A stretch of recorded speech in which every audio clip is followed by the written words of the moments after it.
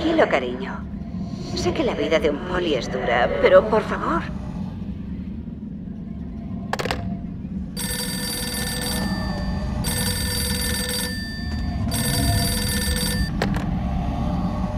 Frank, ¿te encuentras bien? ¿Qué es lo que te pasa?